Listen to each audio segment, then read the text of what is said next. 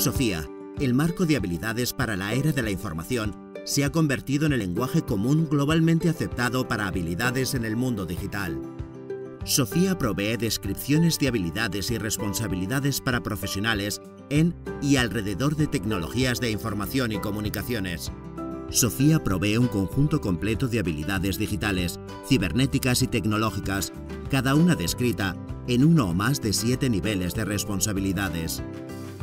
Para ayudar en la navegación por el marco, Sofía estructura las habilidades en seis categorías, cada una con un número de subcategorías. También describe siete niveles genéricos de responsabilidad en términos de autonomía, influencia, complejidad, conocimiento y habilidades empresariales.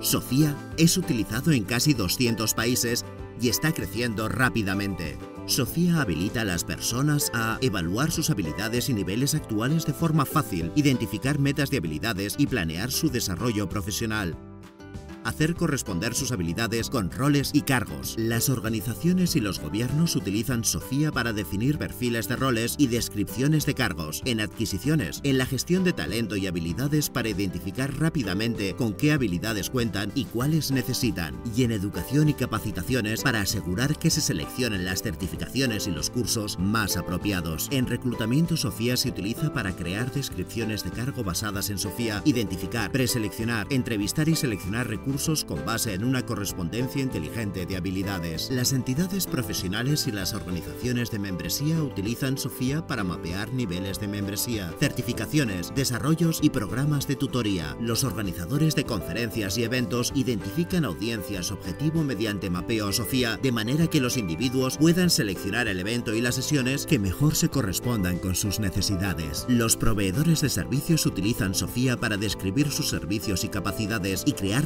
de tarifas profesionales basadas en Sofía. Sofía es el lenguaje común para habilidades en el mundo digital. ¿Sabe con qué habilidades cuenta y qué habilidades necesita?